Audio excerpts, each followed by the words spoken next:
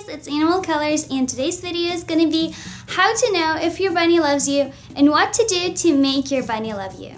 So let's talk about if your bunny loves you. The way you are sure that your bunny loves you is the first step is that your bunny is not afraid of you. It's not afraid to come to you and maybe go around you. And when your bunny is in the cage, when you come into the room, your bunny won't automatically go into its hidey house or go away. Some other things are your bunny will chin you and basically it's so when your bunny just goes and basically rubs its chin on your leg or maybe on anything like that. And basically, that's the way they mark their territory. The way is when your bunny licks or nibbles you, and I mentioned this in past video and basically your bunny will go around you and lick you on the leg or maybe anywhere and it'll nibble on you if you have a new bunny and it doesn't know that it's not supposed to nibble on you. Also, they will go around you in circles, uh, walk around your legs, run around you. If you, I like to lie on the floor sometimes and uh, um, and Kiwi will just run around me and lick me.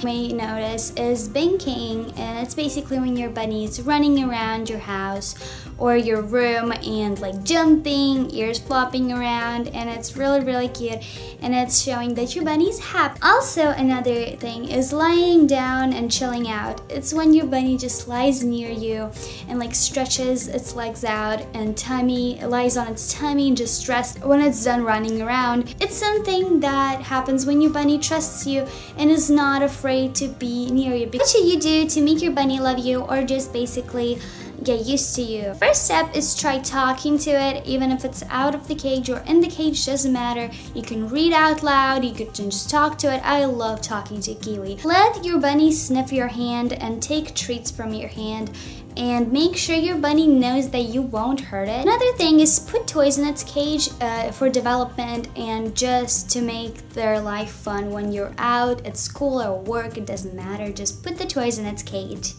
Handle your bunny well is a very important part.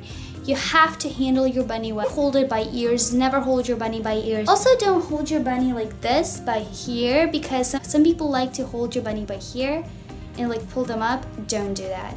Beep, beep. And this is basically how you pick up your rabbit by butt and on here. But don't try to pick up your rabbit a lot because they don't like to be picked up. Just pet it. The thing that you might want to do is let your bunny out a lot out of its cage so it may get used to you and to environment. Make sure your bunny area where you let it out is bunny proof so no cords, no, uh, like I wouldn't suggest be having carpet because it can pee if your bunny is not a litter trained. Kiwi is fully litter trained so basically if she wants to go to the bathroom she comes back into her cage. Spend a lot of time with your bunny because it's very important. Pet it, give it treats, just hang out with it. And I mean, this all comes to the same part. Just hang out and be nice to your bunny. And here's some tips uh, to follow if uh, to make your bonding with your rabbit more like clear. Another thing is never punish your rabbit. Don't beat it. Don't scream at it. Bunnies don't understand it, but they will be scared of you if you do that. Not dogs, and they are not cuddly things. They don't like to be held. They don't like to be even petted sometimes. They like to be petted, some bunnies. I mean, my fast bunnies love to be petted. If it nips you, and if you actually don't want your bunny to nip you, just make a high-pitched noise like Approach your bunny slowly, never too fast, and never from the back. The many bunnies like to be petted on the head, but don't pet it on the back because that's not like dogs.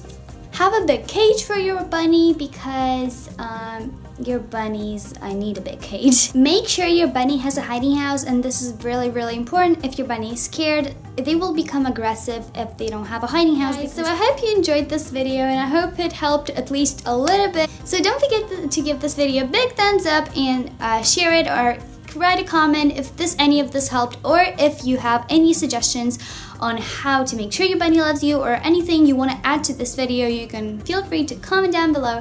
So thank you so much for watching. Don't forget to subscribe and I'll see you guys later. Have a colorful day and goodbye.